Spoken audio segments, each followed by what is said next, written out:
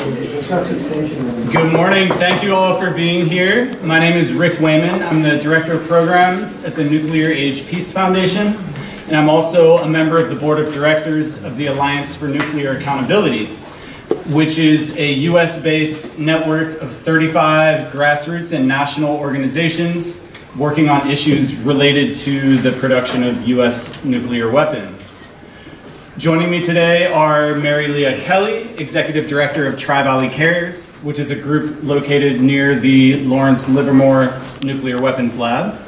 Jay Coghlan, Executive Director of Nuclear Watch New Mexico, located near Los Alamos and Sandia Labs. Ralph Hutchison, Coordinator of the Oak Ridge Environmental Peace Alliance, located near the Y-12 nuclear facility in Tennessee.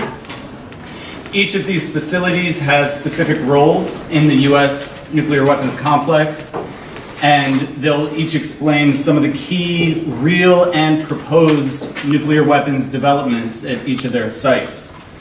Uh, we also have Hans Kristensen of Federation of American Scientists and Matthew McKinzie of Natural Resources Defense Council. Uh, recently, together with Ted Postol, they co-authored a piece in the Bulletin of the Atomic Scientist detailing the serious destabilizing dangers associated with uh, a specific nuclear warhead modernization uh, that was completed, I believe, under President Obama. Uh, and they'll get more into that as well. Uh, we also have special guest Zia Mian, uh, who was not on the original agenda, but he's here and, and, uh, and he's going to share some expertise with us as well. This is typical of Zia. So uh, yesterday, as we all know, uh, U.S. Ambassador Nikki Haley made no secret of the Trump administration's disdain for the ban treaty negotiations happening, uh, just as the Obama administration actively opposed the ban treaty proposal at every turn. Why is it so threatening to the United States? It's also threatening to the other nuclear armed countries. They're not here either, um, probably for different reasons.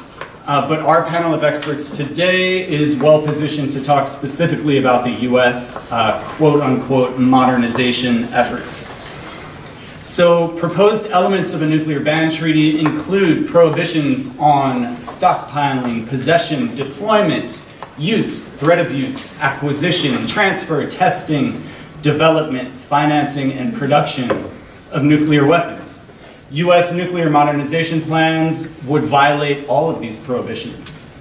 Additional proposed elements of a ban treaty include recognition of the rights of victims and survivors of the use and testing, uh, as well as environmental rehabilitation, among other positive obligations. Again, the proposed and in progress U.S. nuclear modernization programs would violate these obligations. But I don't think that the states who are negotiating this treaty are doing so because they hate the US or because they want American children to be defenseless against North Korea's nuclear weapons. I believe they're doing this because they recognize that every single human being is threatened by the continued existence of nuclear weapons. So, how will US nuclear modernization under President Trump affect the ban treaty process? And how will the ban treaty affect U.S. nuclear modernization plans?